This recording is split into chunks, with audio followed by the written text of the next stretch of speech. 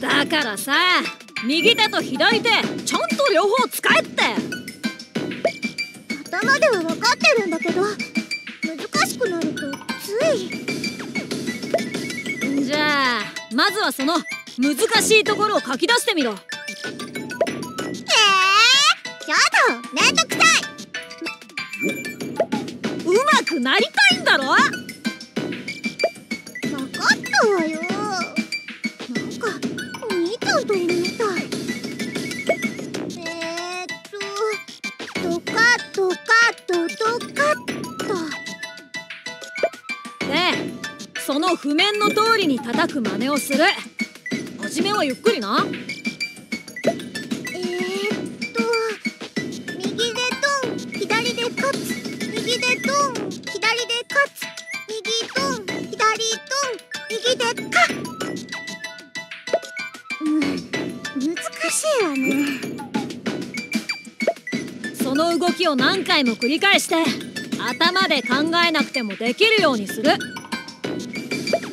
要するに体で覚えちまうんだ。わかるか？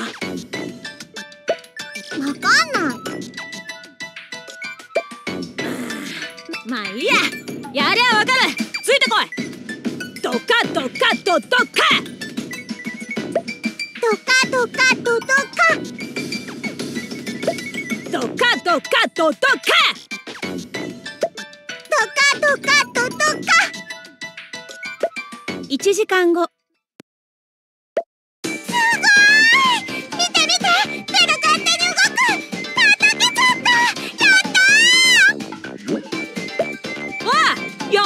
右手と左手をちゃんと使ったらあの難しいところがこんなに楽に叩けるなんて。論理で考えることと体を使うこと両方とも大事なんだ。まあ基本ってやつだな。よし。今日はこの辺でお開きにすっか。ああの